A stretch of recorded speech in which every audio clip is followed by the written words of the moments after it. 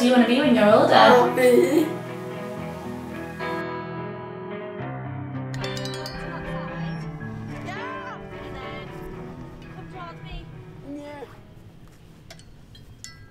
Ella Gregson is one of 7% of children in the UK living with a disability.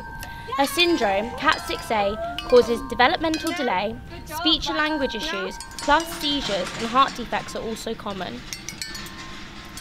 She's a diva. She's all everybody knows her. So she's got a wicked personality, and even though she can't talk very much, she gets herself understood. Yeah. Go on. Three, two, one. Way. Are you handing them out? No. You? Yeah. Okay. There you go. Yeah. Six. I think that's one. Two. Three. She was disabled at birth. When she was delivered, she wasn't breathing. The doctors knew then there was something different about Ella, but it took until she was 14 for us to find out what it was. Who's going first? Mm. Hmm? Me or you? My Me? Oh, thank you. Right. Well, I think I'm going to go for the dragon. Can you put it down there? Thank you. yeah. The concerns I have for Ella's future, oh my goodness, where do we start? What will she do when school's finished? Because she's only at school until she's 19. And what will she do for her days? How will people treat her as an adult? And the biggie is what happens to her when we can't look after her anymore ourselves. Do you like that dance? Yeah. Look at Annie watching. Yeah. Oh, look at that. You like watching it, don't you? Ella's had lots of problems at school, mainstream primary school. She was basically kept away from the rest of the class because they were getting ready for the SATs, and Ella's never going to do SATs. So it was basically her and a teaching assistant on their own for most of the time. Ella is now 15 and has only three years left at her specialist school, which is one of the only places that caters for her specialist educational needs. We were so pleased when Ella went to Broadfield. We've noticed her learning has picked up, her speech has picked up, her behaviour. There's a lot less violent episodes from her now than there used to be. She has friends, she sees friends out of school, which has never happened before. She gets invited to parties and things like that, and that never happened before Broadfield. At a specialist school, it's much better for children that need extra support because we have smaller classes, so they get the extra one-to-one that they need. In mainstream schools, they're so much bigger and children can get lost and they don't get the extra support. Can you remember what we're doing on Friday morning? Morning. What are we doing? Morning. Dancing. We are, aren't we? Two. I look at it and then jump. Oh yeah. And then Although 3.4 million disabled adults are in employment, disabled people are twice as likely to be unemployed as non disabled people.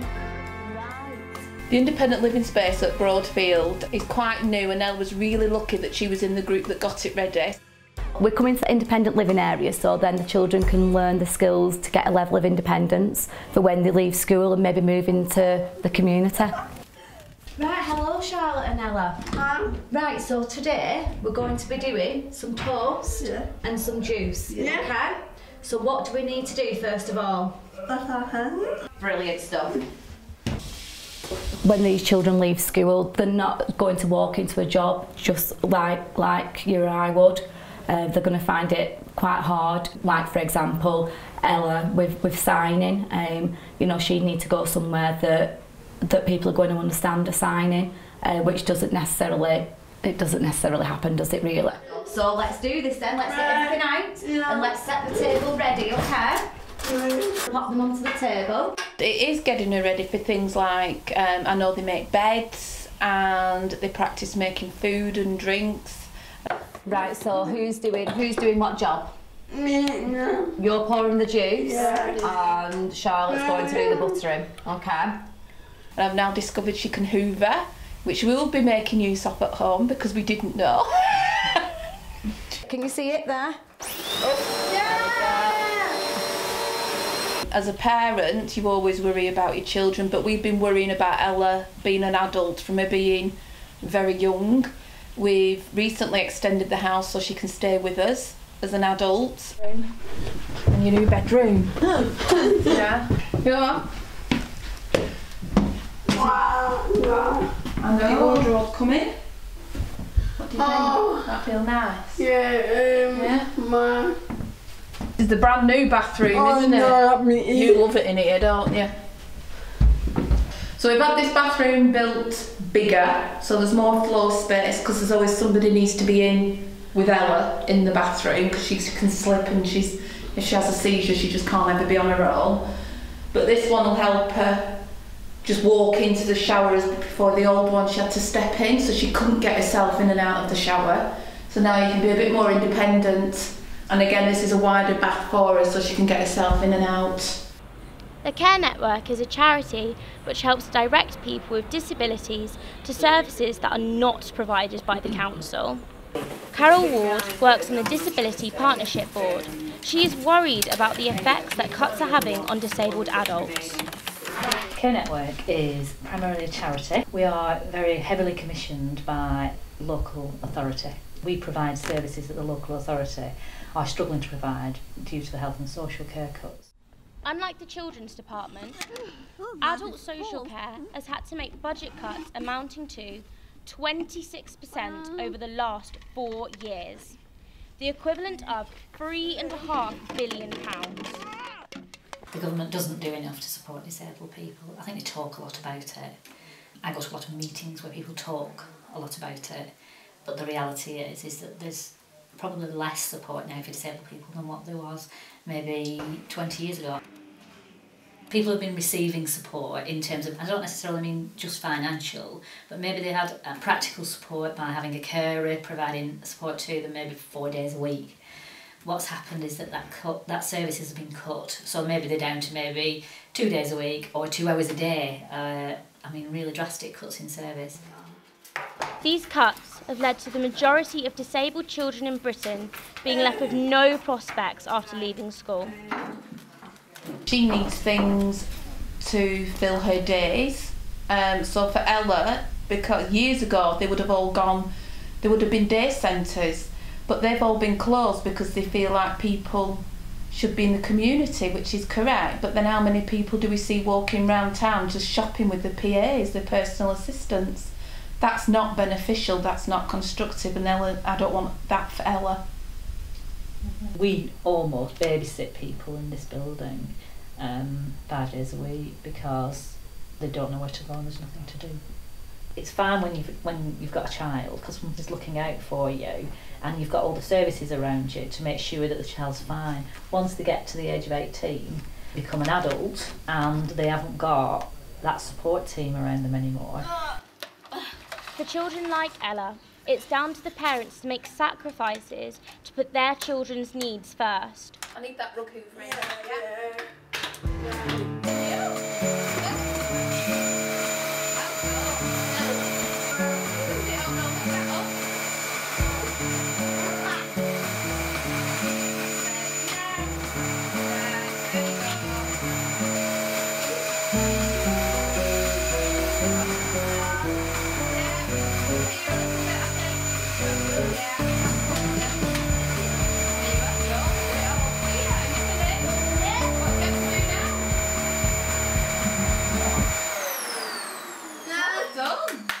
Many parents don't feel there's a choice, and because they want to protect them, they will be left looking after their children until old age.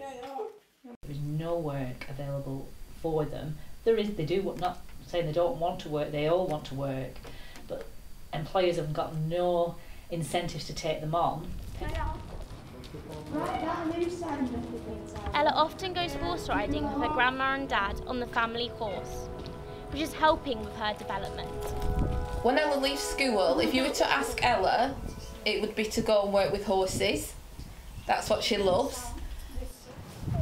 I've really enjoyed seeing that the build-up of the experiences that she's had have, have built such a lot of confidence in her and independence. So and that's That's great for Ella because she finds it difficult to express how she's feeling.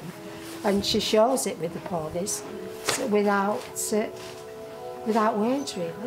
yes. One foot after the other. Yeah! Get your feet in the... Let's get your rings. Ella's future for us is staying with us um, long term, and I don't want to go in in shared living. That's just not for Ella because even when she's in her 20s, 30s, 40s, she's still going to be like a four or a five year old. So she needs to be with a family. Um, so that future, she stays with us as long as we can. And then hopefully we can find somewhere suitable that's more family based when we can't look after her anymore. People all work in little sort of islands and nobody does everything together. So you get children's services that don't talk to adult services, you get schools that don't talk to GPs, hospitals that don't talk to GPs either, believe it or not.